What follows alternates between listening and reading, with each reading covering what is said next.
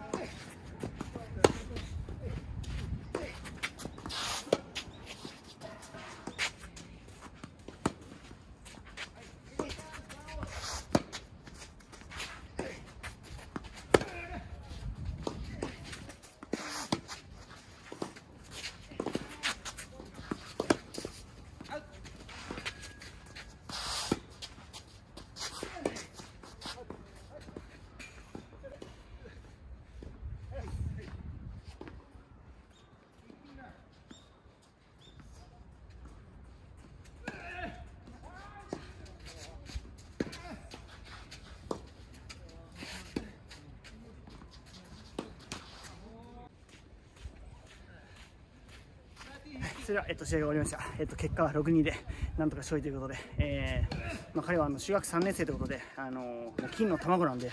ぜひあの今後、えー、活躍することを期待して、えー、この動画が、あのまあ、彼があの大きくなって、どんどん活躍してきてこの頃はまだ自分がこの程度だったなっていうのを、えー、確認できる動画になればと思っているので、はいまあ、皆さんもぜひ応援よろしくお願いします。じゃあいいねと、えー、コメントと、えー、チャンネル登録お願いします、え準決勝対戦相手は、え熱血テニスクールの森さんです、え頑張ってきます。そんな感じで終わります。ありがとうございました。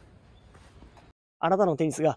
より早く効率よくレベルアップできるようにと思い、えオンラインレッスンを立ち上げました。え今ですね、毎月、えっ、と、いろんな県からえー、福岡の方にレッスンに来ていただいている方が、えー、たくさんいます。で、えっと、そういう方はですね、どうしても、あの、予定を組んで、福岡まで来て、えー、レッスンをしてっていう、あの、時間とお金がすごくかかるんですよね。なんで、そういう方を救えたらと思って、えー、始めました。今、えっと、全国には、あの、たくさん、あの、悩んでる方がいます。テニスもっと早く上達できないかな、今自分はどういう状態なのかなっていう方たくさんいるんで、えー、そういう方を救いたいと思って、えー、作ったので、気になる方はうん、詳細はですね、えっと、概要欄に載せてるので、えー、ぜひ見ていただければと思います。ざっくり言うと、えっと、フォアハンドならフォアハンド、バックハンドならバックハンド、まあ、サーブならサーブ、なんでもいいですけど、えっと、一つのショットを僕に動画で送っていただいて、えっと、課題を伝えます。で、課題を伝えて、改善するためには、あの、どうしたらいいのか、練習方法などでも、えー、お伝えしていこうと思っているので、まあ、そういう形を、えー、とっています。本気で上手くなりたい。もう自分は、あの、これ以上レベルアップできないかなとか、自分一人でどうやったらレベルアップすればいいんだ。っていうのが、えー、わかんない方たくさんいると思うんで、えっ、ー、と、そういう方を救えればと思います。はい。そんな感じで、えー、気になる方は、えー、僕にご連絡ください。以上です。ありがとうございました。